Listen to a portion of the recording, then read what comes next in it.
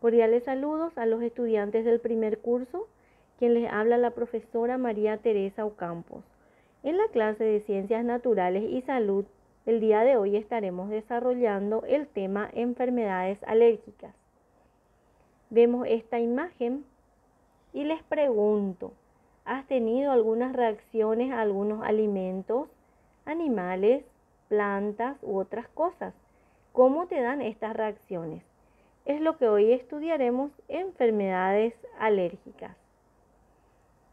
También vemos la siguiente imagen a un ácaro. Este ácaro no es visible a simple vista, esto está visto en el microscopio. Pertenece a la subclase de los arácnidos de la familia de los artrópodos. Se encuentran en los tejidos, en las ropas de cama, en los colchones, en las almohadas, en las alfombras, etc. La alergia es una respuesta exagerada del sistema defensivo, o sea, del sistema inmunitario. Se lo llama reacción de hipersensibilidad. Lo que para unas personas son sustancias inocuas, para algo otros son nocivas. Acá tenemos, por ejemplo, a esta sustancia y a esta sustancia lo llamamos alergeno. Entonces, alergeno es una sustancia capaz de inducir una respuesta de hipersensibilidad. ¿Qué causan estas alergias? Los hongos ambientales, los ácaros, el polen, alimentos como leche, huevo, chocolate, el pelo de las mascotas, perros, gatos, también los excrementos de cucarachas y roedores. Existen factores predisponentes genéticos y otros factores ambientales desencadenantes. Los antecedentes familiares son muy importantes también tenerlos en cuenta. Dentro de este grupo de alergenos tenemos a los inhalados o, aeroalergenos, que son los pólenes, ácaros, epitelio animales. También tenemos eh, alimentarios como proteínas, leche de vaca, huevo, fruta, fármacos, antibióticos, antiinflamatorios, de contacto como níquel, cromo, perfume.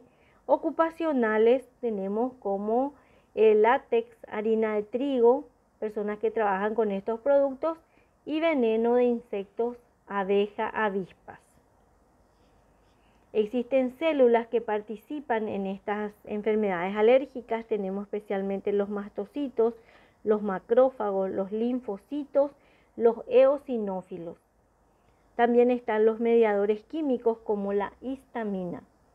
Los alergenos son las sustancias entonces capaces de causar la alergia y estimulan eh, al sistema inmunitario para generar anticuerpos. Estos anticuerpos son los los de la clase IgE, inmunoglobulina E. ¿Cuál es la prevención primaria?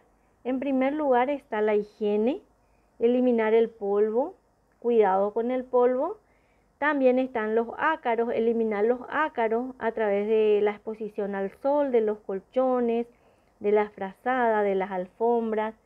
También eh, tener en cuenta el cuidado con el polen, eh, no estar expuesto a estos, el humo del cigarrillo, realizar ejercicios físicos, no estar en contacto con sustancias industriales y también cuidados con el pelo de los animales.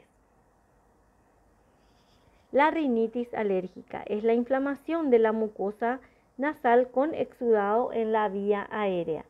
La rinitis puede causar entonces picor, obstrucción, secreciones, nasales, también hay falta de olfato y se clasifican en estacional y perenne. La rinitis alérgica estacional es llamada también fiebre del heno. Durante la estación del polen se puede manifestar entonces estornudos, congestión nasal, secreción nasal, picazón de la nariz, ojos o garganta y ojos irritados y llorosos.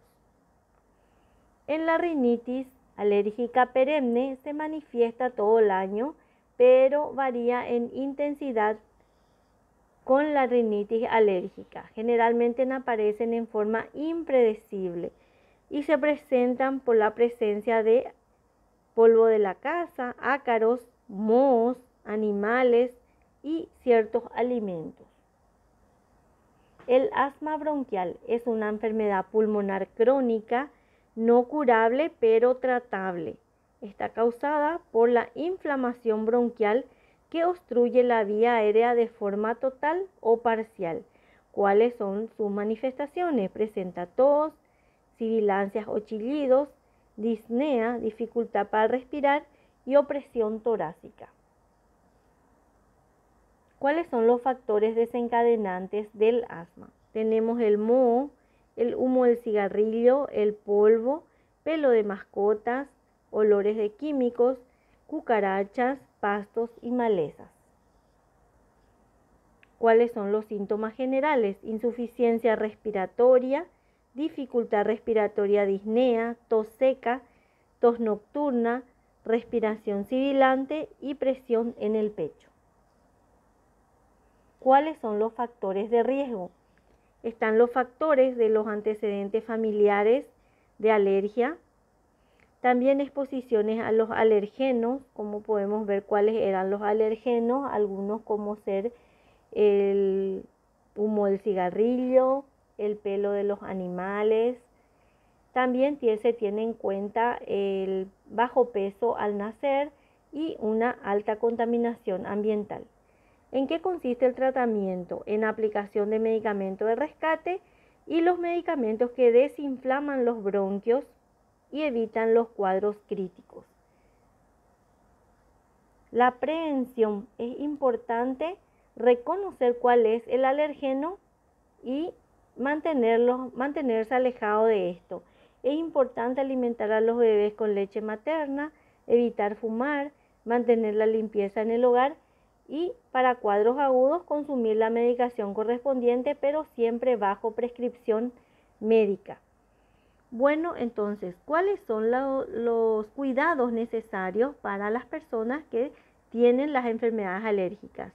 La educación al paciente, reconocer cuáles son los factores de riesgo, evitar el contacto con los alergenos, mantener la limpieza en el hogar, una buena alimentación, hacer ejercicios físicos, mantener la salud física, mental y social. No olviden que tienen las actividades para realizar y a cuidarnos entre todos. Muchas gracias.